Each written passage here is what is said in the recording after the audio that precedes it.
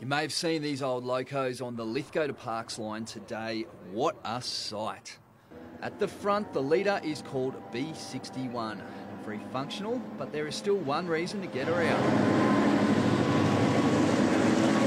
It's just a beauty thing in aesthetics because locomotives today are very utilitarian and uh, very fuel efficient. B61 and the crew are on their way to Goulburn to celebrate 65 years of Australian built locomotives. Streamliners 2016 at Goulburn. It runs uh, this long weekend, October 1, 2, and 3.